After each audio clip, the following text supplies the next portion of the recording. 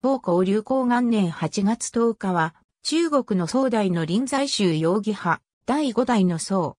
死号は、広志閣前氏、死号は、仏日大師、大英禅寺、属性は慶、字は曇りつごもり、号は、妙気、雲門。公安を用いて、悟りに至る、神那禅の体制者として知られる。泉州寧国県の出身。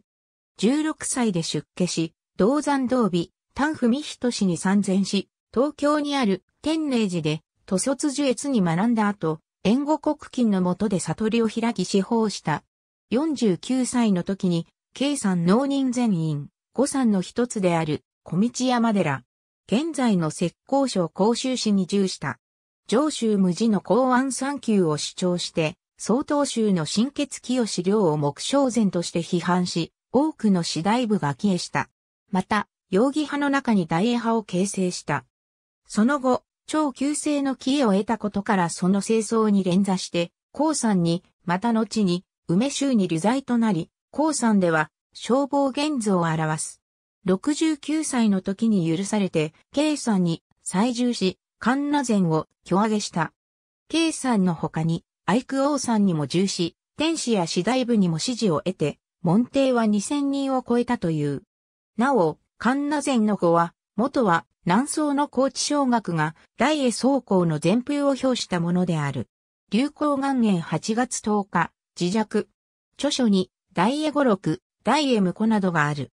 大江語録30巻は大増教に編入された。曹洞宗に属した高知小学と真の前方をめぐって激しく対立した。宗公は公安を用いることによって言語による思考に大きな疑問を抱えつつ座禅し、その疑問を打ち破ることにより悟りへと向かうという臨済宗の前方を正しいものと認めた。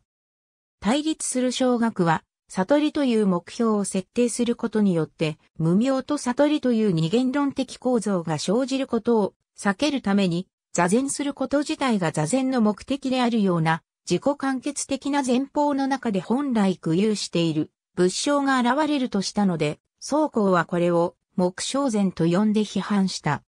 この臨済宗と曹洞宗の理論的な対象は、宗公と小学の当時から現在の日本にまで継続している。しかし当時の中国社会では、宗公の理論が支持を受け、臨済宗が大いに流星することとなった。日本の南北朝時代の臨済宗中岩円月は、東洋特記を通じて、大英宗公の法に連なる。ありがとうございます。